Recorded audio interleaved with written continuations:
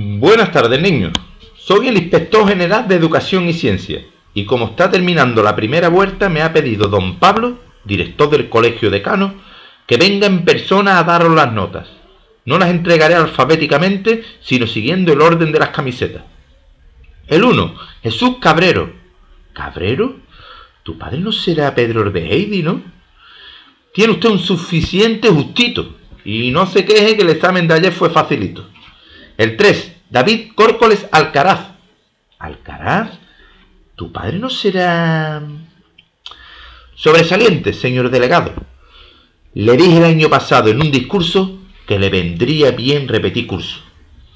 El 4, Borja Granero. Insuficiente. De mal en peor cada examen que ha realizado. Si es que el año pasado no deberían de haberlo aprobado. El 5, Juan Antonio Zamora que usted niño de mimado de don Sergi, el tutor, es evidente. Pero como a mí me da igual, le voy a poner insuficiente. El 6, Ángel Mortor, Montor, suficiente raspado. Que veo que este trimestre no ha hecho varios exámenes balompédicos. Es que estaba mucho tiempo malo, maestro, pero he traído justificante médico. El 8, Jonathan Valle, notable alto. Pero no se confíe que los dos sabemos que usted aprueba sin estudiar, ¿eh? El 9, Paweł Brosek. Uy, un polaco. Hijo de recolectores de fresas, supongo. Un suficiente pelado le pongo. El 10, Jesús Rubio. Me han dicho que le ponga insuficiente. Mm, viéndolo jugar, si le ponen esa nota, cualquiera diría que es que el tutor le tiene manía. El 11, Ernesto Gómez. Insuficiente. Normal. Su antiguo colegio era una porquería. Así que ahora tendrá usted que ponerse al día. El 12.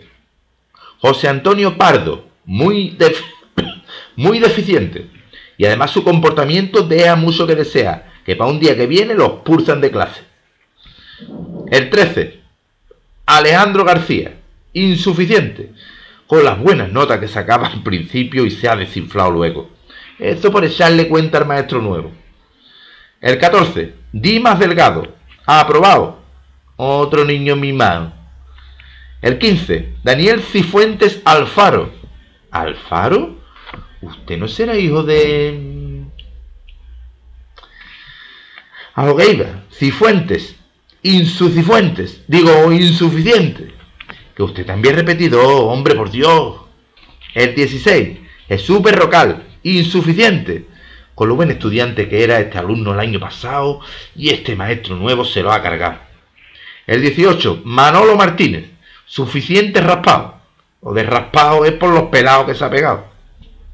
Me han dicho que este año se está usted esforzando, que está hincando los codos, hincando los codos, metiendo la rodilla, poniendo la zancadilla, que se está usted jugando la expulsión del colegio, Manolo. El 20, Marcos Navas, muy deficiente, ni estudia, ni trabaja, ni nada de nada. ¿Me quiere explicar que viene usted al colegio, tunante? Su hermano Jesús sí que es buen estudiante. El 21, Fernando Vega, suficiente. Otro repetidor acomodado. Y como falta mucho al colegio, siempre pone de excusa que está expulsado, que está lesionado. El 22, Jorge Matamala, suficiente. Matamala, déjese de vivir de la renta y de ejemplo que usted podría ser padre de alguno de sus compañeros.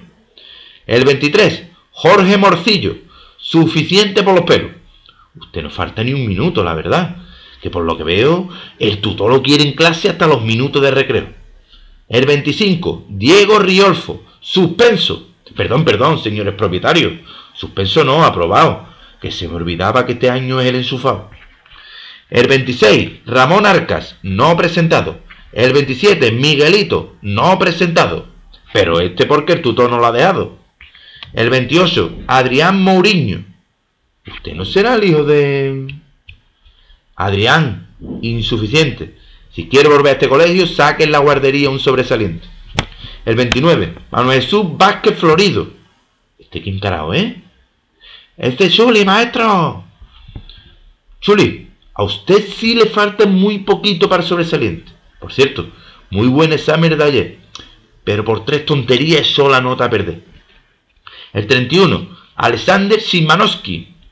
Otro hijo de fresero, por lo que veo notable.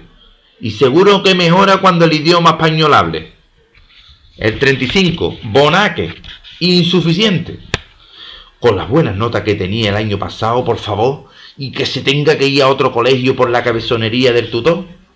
El 36, Aitor García. ¿Aitor? ¿Usted no será el hijo de... Mire, Aitor, usted debería estar todavía en educación infantil prácticamente.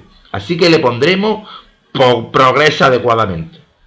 Y poneos las pilas si queréis aprobar la segunda vuelta. Esto ya no es un colegio público, ahora es un colegio privado, de pago. Que el que no quiera estudiar lo mandamos a un colegio negro y amarillo que hay en Lepe.